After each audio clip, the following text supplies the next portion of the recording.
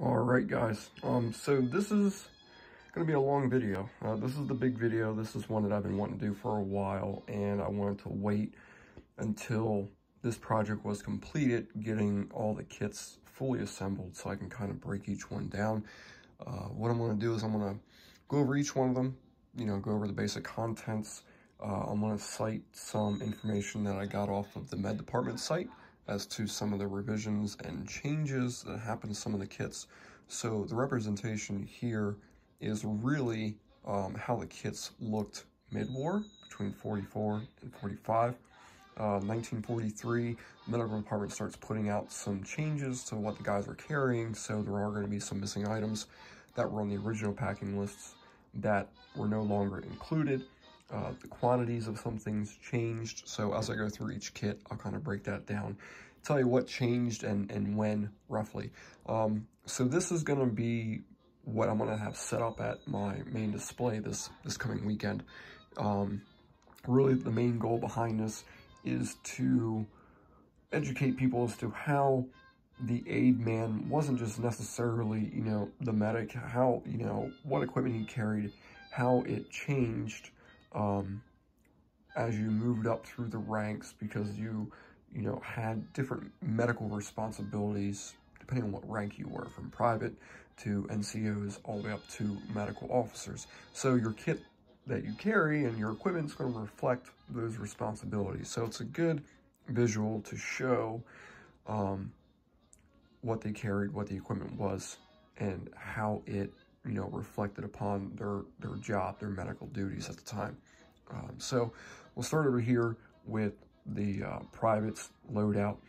Two bags.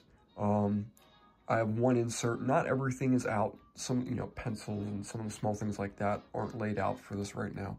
Um, but you'd have one insert for your uh, pill vials. Um, and that was, no, I'm sorry. You have a different insert, not the pill insert, but um, the other one for the ammonia spirits and stuff, the one with the pouches. So really at the private level, um, you're basically a glorified Band-Aid man. You're really, you know, your main job focus is to control bleeding, treat for shock, um, stabilize the patient as quickly as possible, bandage them up, and get them moved as quickly as possible. So your loadout is going to really reflect that. You're not going to have a lot of the medicines or sulfadiazine or sulfanilamide or anything crazy. You're just going to have really a lot of bandages. Um, so here, how I have it laid out is for the pouches. So in your right pouch, this would all be in there. Left pouch, that would all be in there. Uh, triangle bandages, you have an eye dressing kit, iodine swabs, um, the adhesive compresses, they're Band-Aids, but it's another name for adhesive compress. That's the Band-Aid sticks. Uh, 16 of the gauze bandages that I talked about in the other video that I made up. A tourniquet, scissors, a uh, medical department tin. Now, originally these tins were for carrying iodine swabs.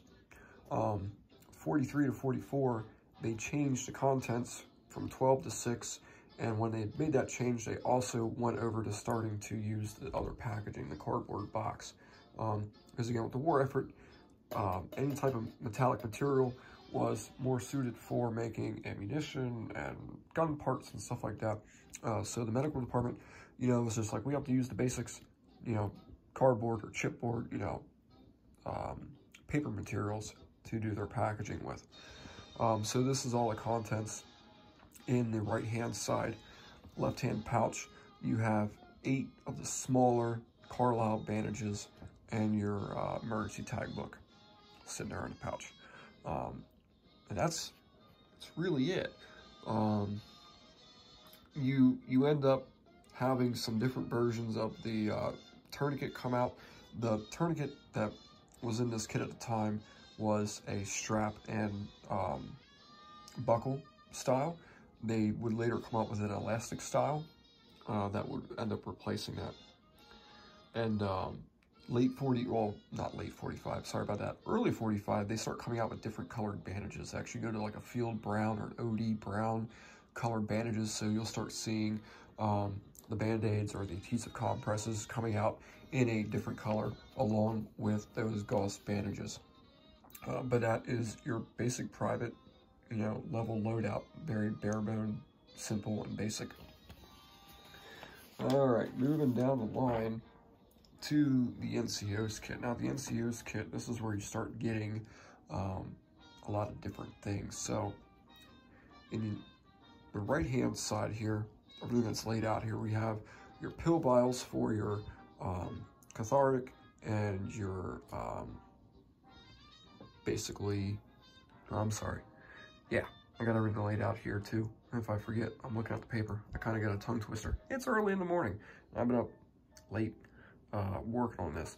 Uh, but your pill vials, the compound cathartic is actually a, a type of um, like indigestion medicine. It's for, you know, if you're um, bloated or, you know, it's basically a laxative, really. It's to get things moving.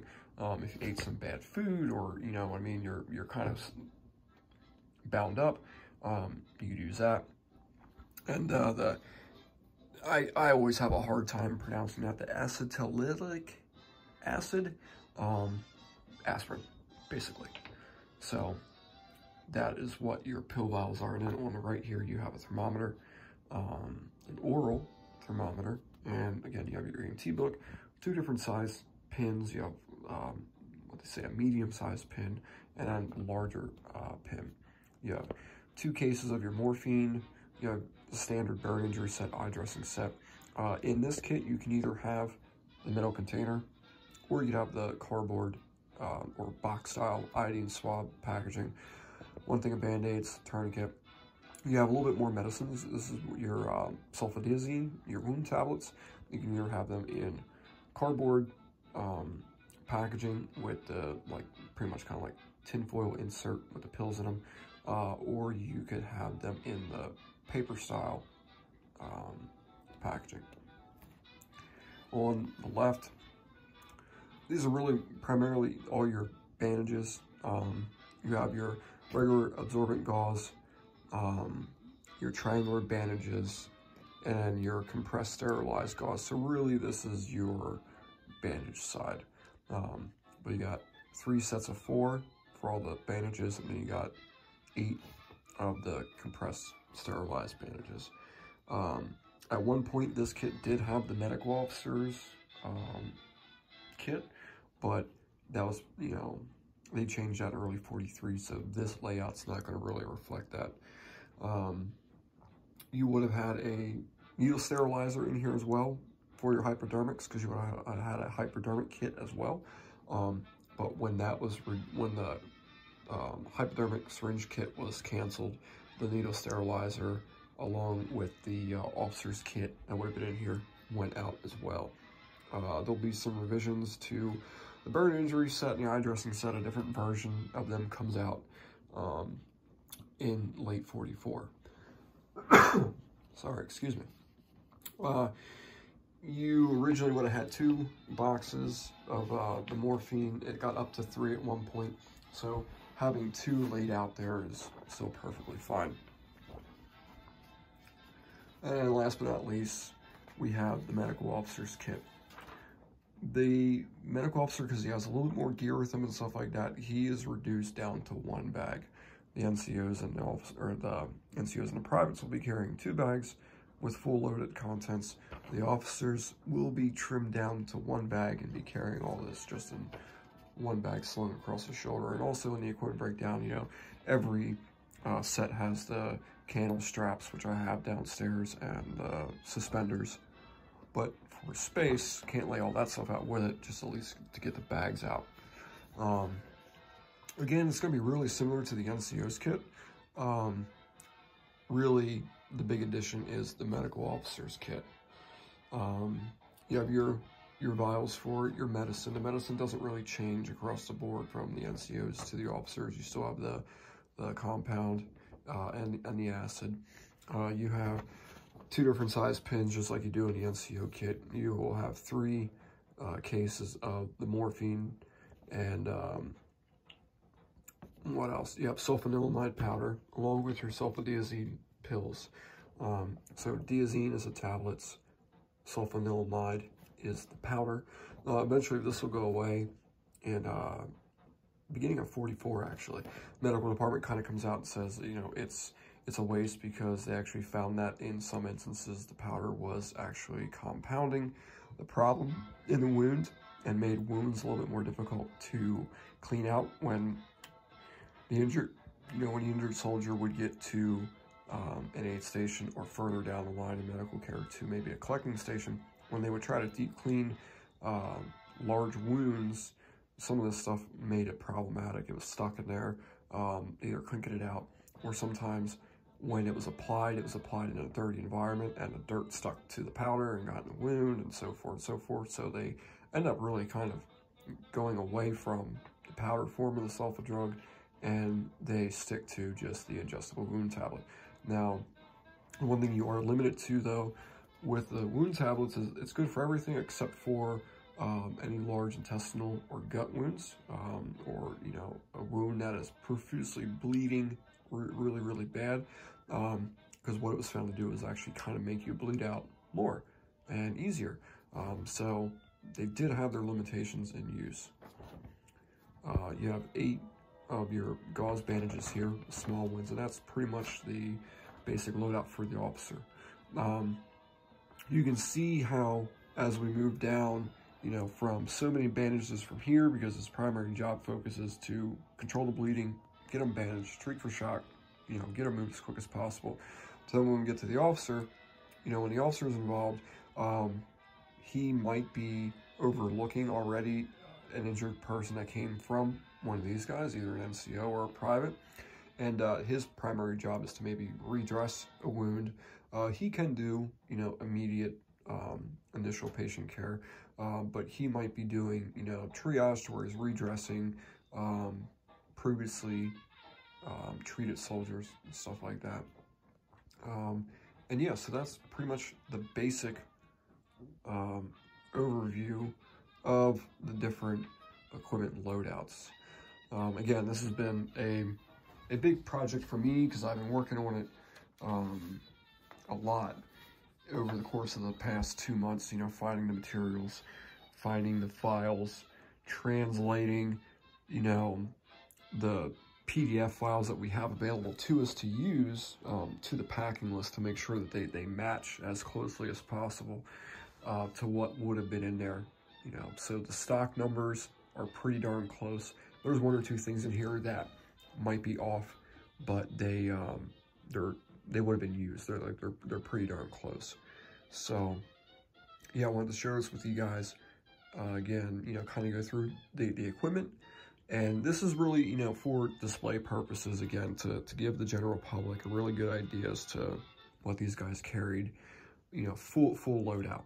Um, when I've done presentations in the past, you know, I kind of had a, an array of different bandages out, you know, just to show an example of this is what they might have carried with them. But this gives you a lot better of a view of the total equipment layout and also again like i stated earlier how it kind of correlates to the the care that the individual um, medic you know either at the private nco or officers level was providing so everything on the table again is all reproduction that i handmade painstakingly handmade uh, the bags and everything are all original um, this will also allow me to keep a lot of my original stuff off the tables at events. So one, it's not getting picked up and handled a lot. Two, it's not, you know, when I go to some outside events, you know, it's stuff sitting in the sun. And these paper products, when they're especially original and old, they don't like being out and exposed like that. And also they might get wet. Um, you know, this stuff is, I wouldn't say disposable, but if it gets wet, you know, it's not to, you know, be something original getting damaged. It's something I can remake and, you know, replace pretty easily and cheaply. Um, all the PDF files are available online on the World War II uh, paper and projects page on Facebook. So if you're a World War II reenactor that does medical, that wants to, you know, make your own stuff like this, just to have to sit out at display events and stuff like that, um, definitely get on there and check it out. Uh, the color of the cardstock, it's all cardstock I got from Michael's, you know, Arts and Crafts. You can you can find that really easily. The only thing that I think I might have off is the uh, Carlisle dressing boxes. They should be, I think, a little bit of a lighter of a color. But in general, everything else is um, pretty darn close um, to what the original packaging would have looked like, brand new, you know, being carried. Other than that, if you have any questions, comments, you know, suggestions, or video content, um, I do plan on doing one more, you know, with full gear and stuff like that and, and, what they would have been carrying along with all this stuff more geared towards people that are maybe just getting into reenacting or if you want to go over to the medical side of things what you should have is really nothing different than uh, your your standard issued equipment. But oh another thing is actually when I first started making these um, a few years ago I actually packaged band-aids and actual gauze pads and everything like that in all the boxes so that I would actually have a quote-unquote live medical kit with me at events that I could use, but it was in period, you know, packaging. So if you are somebody that's EMT trained like I am, or has, you know, a medical background and you want to carry your own crash, mini crash bag with you at events, and you don't want to, you know, have anybody see modern packaging, it's all, it's definitely optional making these up and, uh, you know, putting, um, gauze pads and stuff like that and gauze rolls in them and, and keeping them on you. So you actually kind of have a period correct kit, but it has modern packaging in them. Um, especially like with the adhesive compresses for the band-aids. You know, I have like two or three of those that just have a stack of band-aids in them. Uh, some of these pill vials have actual um, aspirin in them, stuff like that, Advil.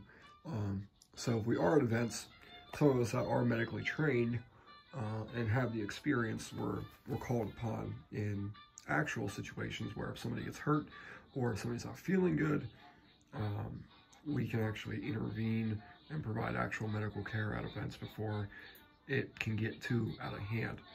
So again, I was really excited to uh, share this, you know, with you guys, and um, I look forward to if you guys have any comments, uh, questions, or suggestions for future videos. So have a good night.